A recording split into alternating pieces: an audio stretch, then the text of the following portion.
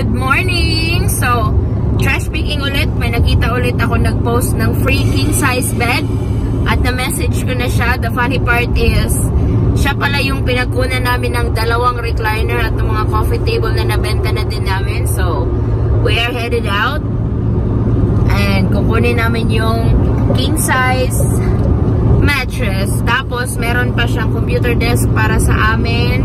Meron din siyang uh, bathroom table, something like that, at iba pang anik-anik. Bathroom so, cabinet. Our bathroom cabinet.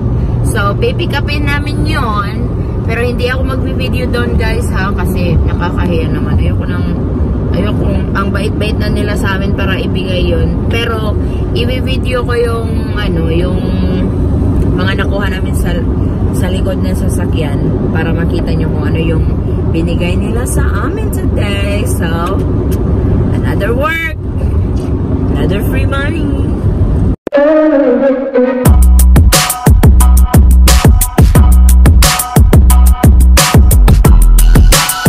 Hi, I'm Patricia. I'm the madam. Hi, I'm Ellie. I'm the ruler. I'm Addie and I'm the diva. I'm Mommy Addie and I'm the boss. And I'm Papa Forrest. I'm the real boss. We are the Idol Squad.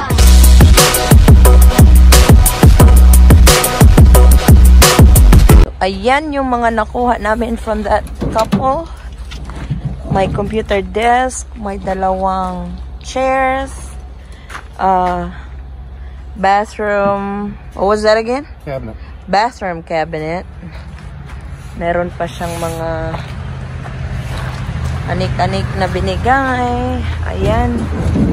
Yun yung iba. Oven toaster. May nativity set. Yan yung upuan. Yan yung ah uh, ano na ni Habi yung ah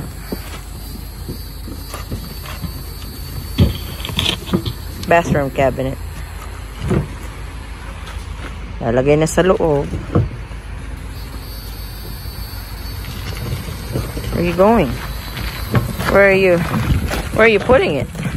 Going in the shop.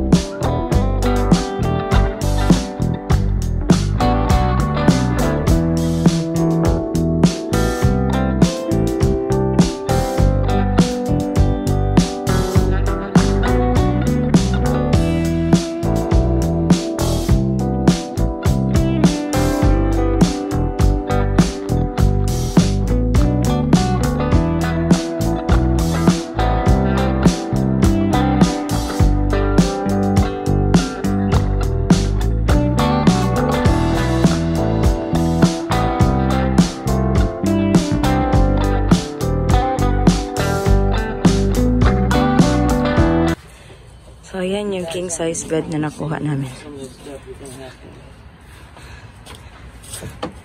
Then another one. You guys eating anything today? Yeah. Okay.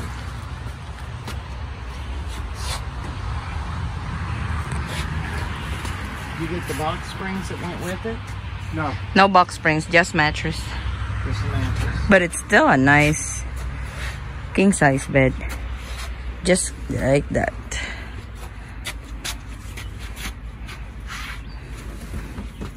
Okay, it should fit with that. That entertainment center will be picked up tomorrow. So that will be gone. Ako taga-video sila, tige. Mom, you're not going to be able to move that entertainment center. No, I can't even budget. There it is. At least pull it far enough that Alright. But, ayan yung nakuha namin today. So, it's a nice computer desk and a king-size mattress. You will ask, you will probably ask uh, 50 sa computer desk at saka 50 sa king-size mattress. So, $100. Ito pa, yung end table at saka dalawang office chair.